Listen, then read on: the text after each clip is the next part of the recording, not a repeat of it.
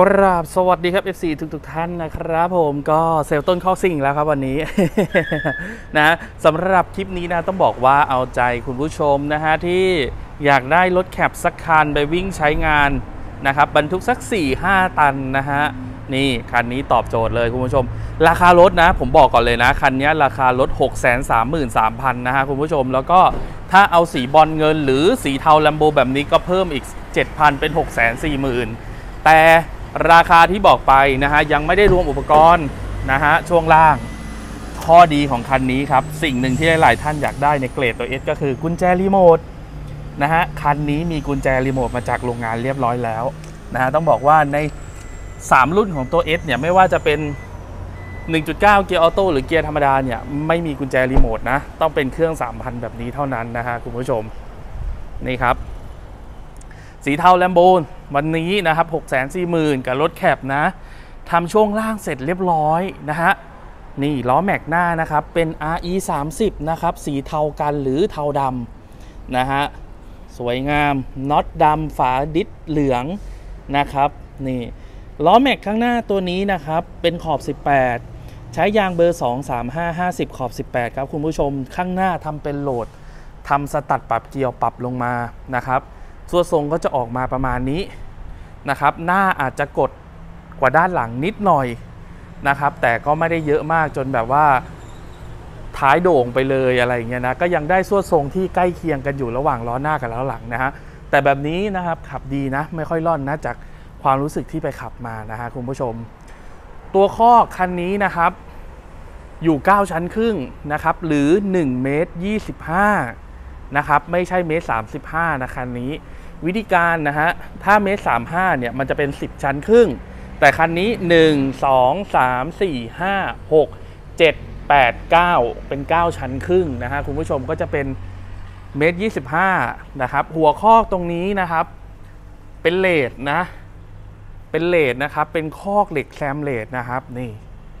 นะครับ ความสวยงามของคอกความเงางามนะรอยการเชื่อมการเก็บสีแต้มสีกันสนิมนะครับ ก็ ทำมาเรียบร้อยหมดนะครับ พร้อมใช้งานนี่นะครับ สวยๆเลย จริง ๆ ข้อแคปเนี่ยผมจะบอกนิดนึงนะฮะคุณผู้ชมครอแคปเนี่ยมันจะมีลักษณะที่หลายแบบนะครับ อันนี้เป็นคอที่แบบเปิดแคปได้นี่นะครับ เป็นคอที่แบบเปิดแคปได้นะครับ แต่คอแคปบางประเภทเราสามารถสั่งได้นะ บางคนบอกว่า ตรงนี้มันยื่นยาวเกินไปกลัวมันจะงอลงมาเขาก็ใช้ตรงนี้ครับ วนดามขึ้นมาอย่างนี้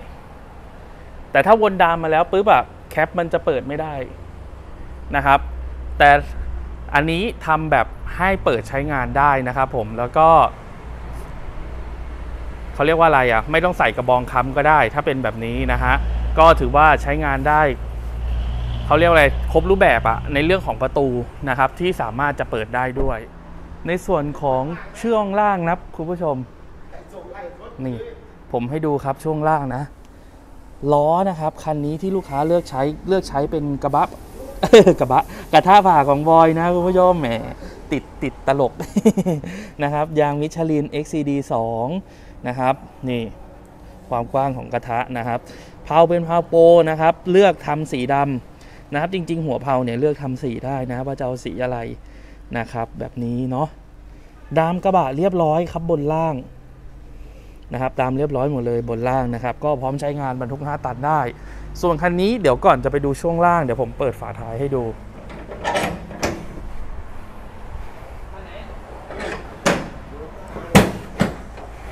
อึ๊บ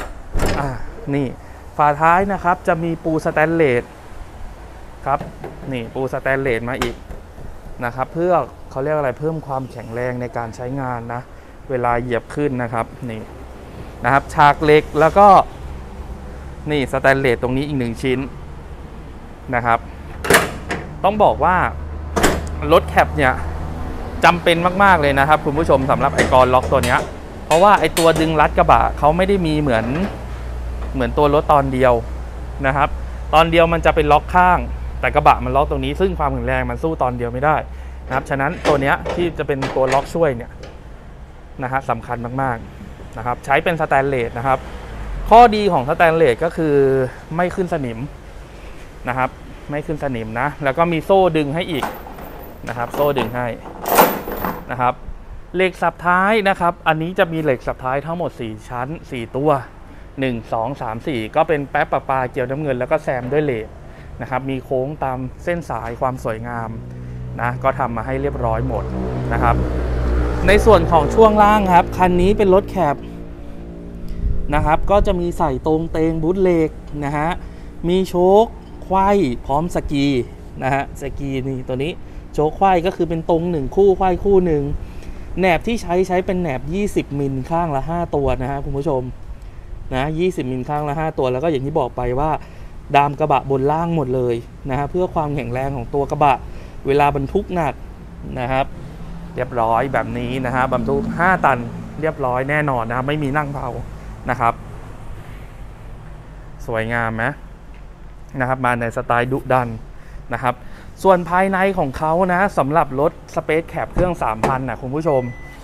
กระจกไฟฟ้าอะไรพวกนี้เขามีมาให้เรียบร้อยแล้ว ล็อกปลดล็อกประตูมีมาเรียบร้อย นะครับกุญแจอย่างที่บอกไปครับเป็นกุญแจรีโมทและเป็นล้อกระทะรุ่นเดียวด้วยที่ได้กุญแจรีโมทนะครับเครื่องเล่นซีดีนะฮะรุ่นนี้ใส่เป็น USB ได้นะครับนี่แอร์ก็เป็นปุ่มหมุนทั้งหมดแล้วก็เกียร์นะครับรุ่นนี้จะเป็นเกียร์ธรรมดานะครับเกียร์เดินหน้า 6 เกียร์นะครับเกียร์ถอยหลัง 1 เกียร์นะครับรวมก็ใช้งานสะดวกเบาะเป็นเบาะผ้านะครับเดินได้สีขาว ในภายในก็เดี๋ยวเราต้องใส่เบาะคงเบาะแคปให้ลูกค้าอีกนะครับเพราะว่าอันนี้ยังไม่ได้เสร็จสมบูรณ์พอดีเพิ่งออกมาจากอู่แล้วรถก็มาถึงผมก็เลยมาถ่ายรีวิวให้ดูก่อนนะฮะก็ตอนนี้ดูรถคอกที่ศูนย์เยอะมาก วันนี้เอาออกจากอู่มาอีกประมาณ 4 3 คัน 4 คันนะครับนูนสีขาวพาวแลมโบต้องบอกว่าไม่ว่าจะเป็นรถตอนเดียวหรือรถแคปนะฮะคุณผู้ชมในเรื่องของการตกแต่งอะ มันใส่กันได้หมดนะ คือไม่จำเป็นว่า เอ้ย ถ้าเป็นแคปก็จะต้องใส่แหนบน้อยลงอะไรไม่เกี่ยวนะ เราใส่จำนวนแหนบให้บรรทุกได้เหมือนกันหมดเลยนะครับ ก็อยู่ที่ว่าท่านจะซื้อแคปหรือซื้อตอนเดียวไปใช้งานแล้วแหละทีนี้นะฮะสวยงามมากนะฮะแต่ละคันเนาะก็ถ้าเป็นแคปนะครับก็จะดาวอยู่ 59,700 ถ้าเป็นเอ้ยโทษทีโทษทีครับ ถ้าเป็นตอนเดียว 59,700 ถ้าเป็นแคปก็ 70 700นะฮะ7700 เนาะแต่ว่าอยู่ที่ท่านแหละว่าจะใช้งานแบบไหนนะครับว่าเน้นครอบครัวไปด้วยหรือเปล่า หรือว่าเดินทางคนเดียวเป็นหลักแล้วจำเป็นต้องใช้เป็นรถตอนเดียวเนาะก็แต่ละรุ่นนะครับ แต่ละสเปคก็จะมีข้อดีที่แตกต่างกันไปแหละนะฮะอยู่ที่ว่าท่านจะเลือกแบบไหนไปใช้งานนะครับ ก็ประมาณนี้ละกันนะฮะสำหรับคลิปนี้ก็ฝากกดไลค์กดแชร์กดติดตามด้วยละกันครับคุณผู้ชมยังไงเดี๋ยว เราเจอกันใหม่อีกทีคลิปหน้าครับ ฝากกดไลค์กดแชร์ด้วยนะครับผม สวัสดีครับ